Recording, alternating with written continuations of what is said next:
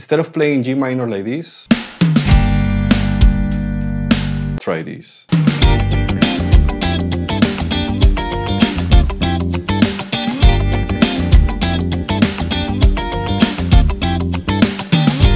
Now, so far what I've been doing in this series of lessons is use the harmonized major scale as my starting point. The idea has been to use the seven triads inside the scale and superimpose it over the chord that I'm playing. So now, for this example, I'm going to play over G minor. And G minor can be either the 2 chord, the 3 chord, or the 6 chord. I'm going to play over the 2 chord, so G minor is going to be the 2 chord in the key of F. So here's a good practice to find all your triads in the key of F. So the first thing I'm going to do is to pick a set of strings, in this case strings 2, 3, and 4.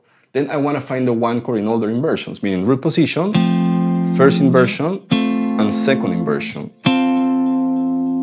Then what I want to do is harmonize the major scale. For this example, I'm going to use the root position triad. So I got the 1 chord F major, 2 chord G minor, 3 chord A minor, 4 chord B flat major, 5 chord C major, 6 chord D minor, 7 chord E diminished, and back to the 1 chord F major. Now you want to do the same with first inversion and second inversion. So now for this example, G minor, the first thing I want to do is make this minor triad a 7 chord.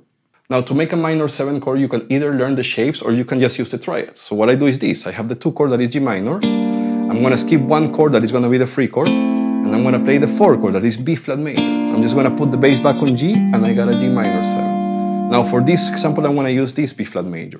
First inversion with the bass on G, G minor 7. So then after playing the 4 chord B flat major, I'm going to go to the 1 chord F major.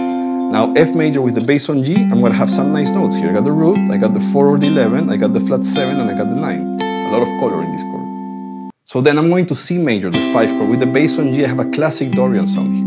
If you wanna get the Dorian sound, play the 5 chord and put the bass on the 2 chord. So now I got the root, I got the 4 or the 11, I got the 13 or the 6, and I got the root again. Then after this C major, I'm just gonna put my pinky on the 10th fret of the B string. I got a 3 chord here, I got an A minor chord. And the only thing I did was going from the root 8th fret of the B string, whole step up to the 9, 10th fret of the B string. So now I have the 11, I have the 13, and I have the 9. So then after playing the 3 chord, all I do is go a whole step down to the 2 chord. Now I'm back in G. I have the flat 3, I got the 5th, and I got the root. It's the first inversion G minor. So if I put all that together, at the end I have this.